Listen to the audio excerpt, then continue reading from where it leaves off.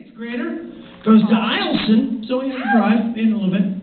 Uh, he weightless, goes to the gym like three times a day, and he models for magazines. Ladies and gentlemen, give it up for Tom Lionheart.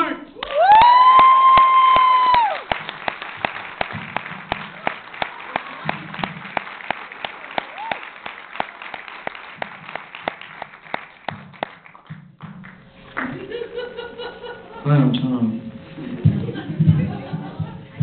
One of the biggest issues in my life right now is that I don't have a lot of money.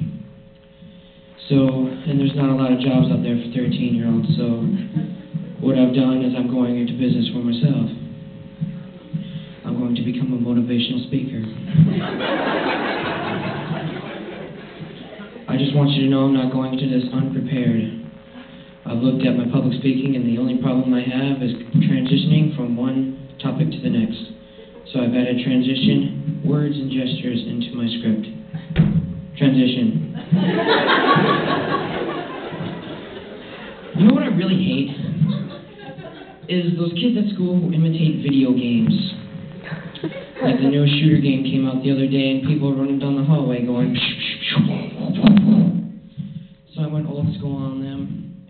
to school and played whack-a-mole.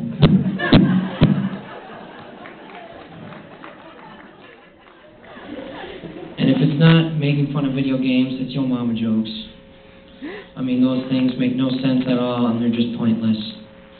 Like, I'm talking to my friend earlier today about the newest movie that we saw. Hey, do you remember the part where the chick fell in the toilet? Your mama fell in the toilet.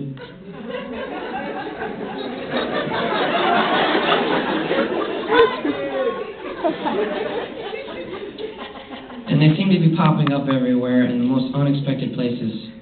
Like I went to church a couple days ago and I, I went up to my pastor and asked him for some advice. Hey, can you give me some advice about these issues I've been having? Your must have some issues.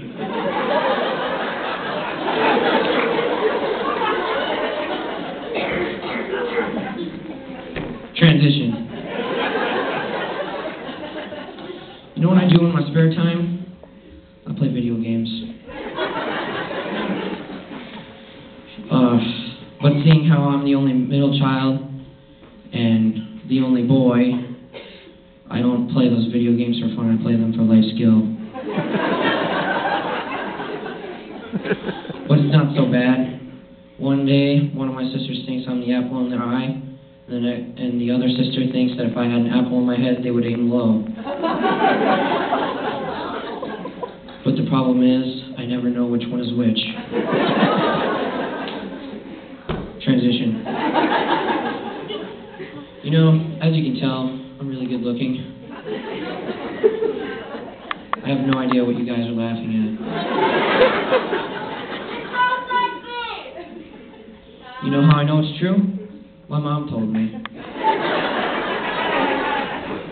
And so did my grandma. Whatever, I can't deal with you guys anymore. But I just have one more thing to say to you guys. I'm out of here.